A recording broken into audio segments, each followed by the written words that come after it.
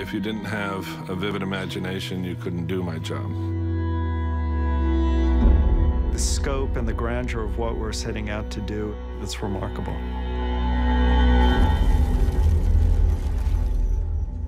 VFX brings all the components that can't be shot in the normal course of production.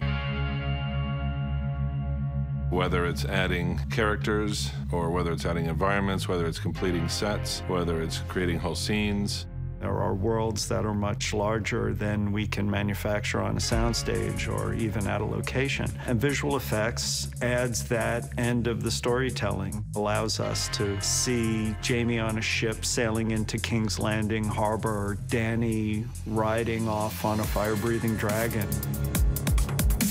In season four, when we were just beginning to conceive for Watchers on the Wall, the attack on the ice wall, we didn't have a space that was nearly big enough or nearly enough people to execute this episode-long sequence. We needed a green screen that was bigger than anything that had ever been built, 30 feet high and 400 feet long. I thought, there's no way that this is going to happen. Now I've gone too far. And that same day, Bernie was ordering the screens to be built, and I really knew what the commitment level was of this show to make what's on the page.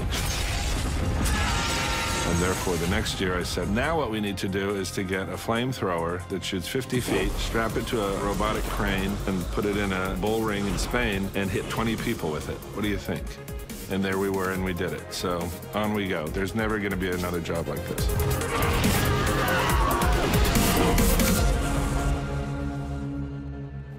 The visual effects industry has become very computer reliant and technological, but one of the things we like to rely on is shooting organic elements. When we shoot our fire breathing dragons, we shoot fire. You get the light reacting the way it would and should. You get the interaction between the fire and the stunt players. When Wun Wun is shot, we want Wun Wun to look twice as big, so the camera needs to be half as high and half as far away.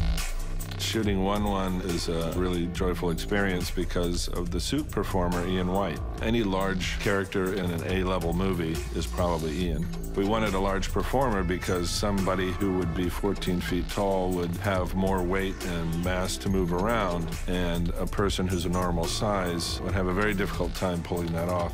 There's a great deal of time spent figuring out the camera angles and the camera lenses, all of which is based on the creative process and first starting out in previs, where you're basically a one-person film crew in a box where you can build the set and light the set and create the characters and move them around. But then you have to sit down and figure it out. We don't make up hardly anything. You know, we always draw from the real world. We do a lot of reference by looking at how birds of prey behave and how certain lizards and reptiles behave. The best compliment that we can receive in visual effects is to be invisible. You know, if anything behaves in a strange way, it doesn't only blow the shot, it blows the scene. We can't cause the audience to blink at any point, so our work has to really, really be great. And that's, you know, grown as the things that we need to depict have gotten bigger. Every skirmish has gotten bigger, then it was larger armies, then larger armies, then larger armies. Our dragons have quintupled or more in size. The show seems to be a lot bigger than it used to be. We're shooting three units. We used to shoot two units. Our team has had to grow to keep pace with it. It's grown every year anyway, but this year it's kind of exploded. I have a buddy of mine who's producing the visual effects on a giant movie, and I asked him how many units they have. He said, what do you mean? We just have one unit. it's like, really? The hardest aspect of my job is, especially as the seasons grow in scope, is to keep my arms around it all. We had 800 shots in season three. We had over 2,000 last year. We shoot on multiple continents. We have five directors, all highly creative people. So you've got five kitchens churning away. The only thing that's not more is the time. Each season has introduced a new problem for us to solve, whether it was a giant on a mammoth or skeleton wights coming out of the ground or various battles. This season employs all of those the scope and the grandeur of what we're setting out to do and the just sheer destruction of it all is much more outlandish and outrageous in season six.